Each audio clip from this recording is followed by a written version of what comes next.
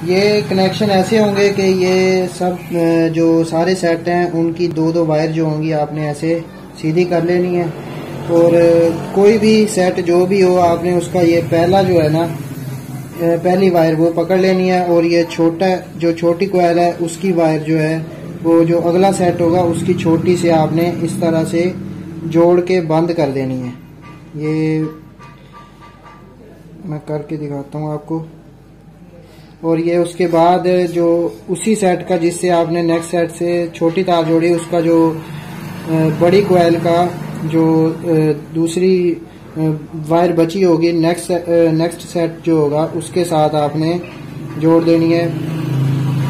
बड़े को बड़े के साथ जोड़ना है, छोटे को छोटे के साथ। और इसको हमने फिर बंद कर देना है उसके बाद। ये उसके बाद आ गया ये जो तीसरा सेट है, उसकी जो छोटी कोयल है, उसकी एक तार बची हुई है।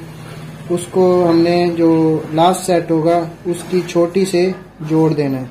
ये भी बंद हो जाएगा। ये लास्ट में दो जो तारें हैं, ये बच जाएँगी। मतलब कि एक सेट का आपने बड़ा, बड़ी बड़ी कोयल का तार को पकड़ना है, छोटी को छोटी के साथ जोड़ना है, बड़ी को बड़ी के साथ, और फिर छोटी को छोटी के साथ। ये दोनों जो सेट एंड में बचेंगे, उसकी जो बड़ी कोयल होंगी उनकी तार बच जाएगी।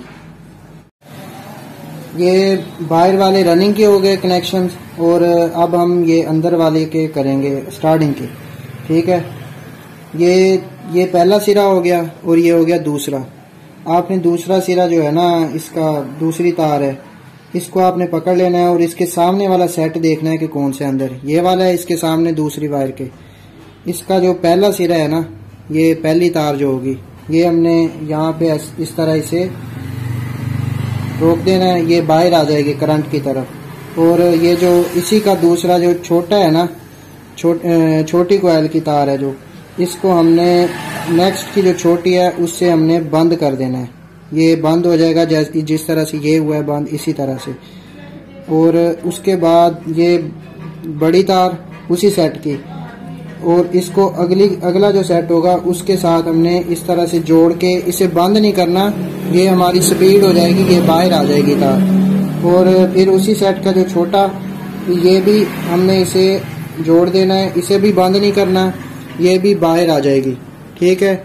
इसके बाद ये जो बड़ा बच गया, ये और ये जो पहला सिरा है, बाहर रनिंग वाला, इसको हम इस तरह से आपस में जोड़ेंगे। और ये हमारी पहली स्पीड हो जाएगी मेन जो सबसे ज़्यादा स्पीड होती है। ये वाली। ठीक है?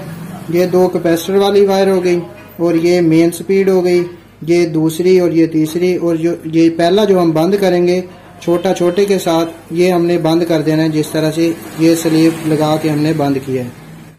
तो जैसा कि मैंने आपको बताया था, ये और एक और तार है, ये वाली। ये ये दोनों हो जाएँगी कैपेसिटर की। ठीक है?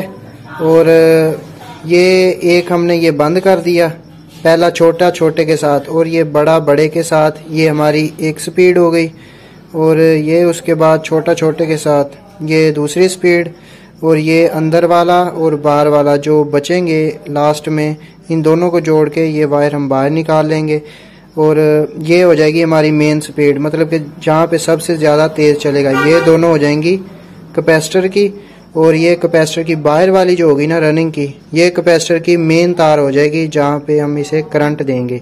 अब यहाँ पे स्लीप वगैरह लगा के धागा और धागा, धागे से इसको बांधने के बाद मैं आपको इसका फिर बाकी का रिज़ल्ट दिखाता हूँ।